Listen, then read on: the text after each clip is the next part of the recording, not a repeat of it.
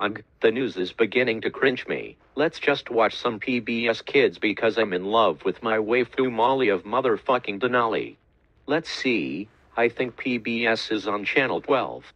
Attention Sony Pictures fans, we have an important announcement to make. What the fuck? What on fucking God's name did they have to interrupt my unhealthy obsession with my sexy waifu that is so fucking important?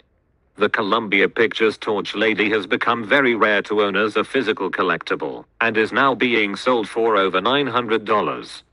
What the goddamn hell? Is this for real? $900 over the torch lady at the beginning of movies. However, I think I may be able to profit from this. Ha ha ha ha ha. Ah yes, my trusty 3D printer. Time to go on an illegal 3D model website and download the torch lady, then sell them on Amazon for $100 a piece. Ha ha ha. Now let's see here, the Columbia Pictures Torch Lady. Oh yes, I found it. Now to download and print this thing and see if it actually makes the real thing.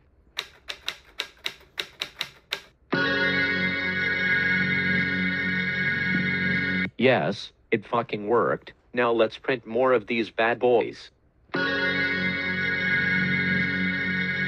I think that should be enough for now. Let us set up the listing on Amazon and see if people will go crazy buying this thing thinking it's the real deal. Ha ha ha.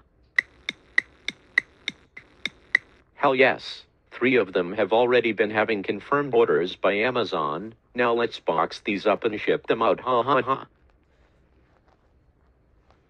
Sir, we're just getting reports now that someone has been pirate 3D printing the very rare collectible and selling it on Amazon. Bro, what the fuck? I was on my lunch break, asshole. Oh well, fuck it. Let's find that fucker and give that fucker what they had coming to them. Wow, three sales and I just already boxed them up. I'm surprised they can fit in three separate boxes. Now let's ship these out. Stop right there, cockfucker. This is the FBI, and we just tracked the location that you were the one making pirate 3D statues of the Columbia Pictures lady. You know very well making pirate things is illegal, you did. We've heard about your scheming on Amazon. Now you'll come with us to prison. Ha ha ha ha, very funny. I know you guys aren't the FBI because you don't have the seal on your suits.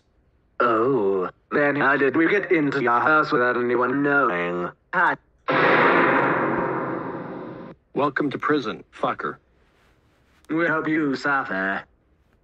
Well, the good thing is that I'm not gonna get grounded for being in prison. Think again.